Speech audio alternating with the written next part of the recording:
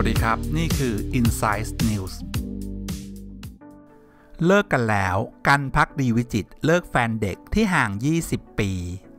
ทำเอาหลายคนต่างตกใจและเสียใจไปตามๆกันเมื่อสปาย ทัชพงษ์พัฒน์ประกาศลดสถานะเหลือเพียงพี่น้องกับกันพักดีวิจิต ซึ่งทั้งคู่มีอายุห่างกันถึง 20 ปี และคบกันมานานกว่า 1 ปี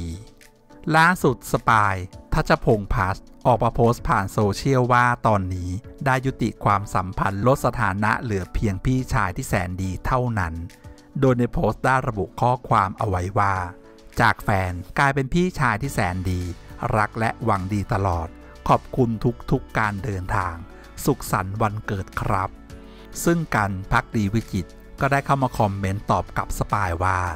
ยังคงอยู่ในใจเสมอห่วงเสมอ เป็นพี่น้องที่แสนดีกันครับ หลังจากที่สปาย โพสต์ออกไปก็มีแฟนๆ ต่างเข้ามาให้กำลังใจเป็นจำนวนมาก อาทิ ตกใจเลยนะ ชอบเวลาสองคนนี้อยู่ด้วยกัน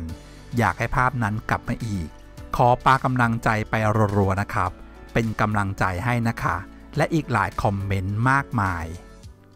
อย่าลืมกดติดตามหรือฝากคอมเมนต์ไว้ที่ใต้คลิปได้นะครับ ขอบคุณครับ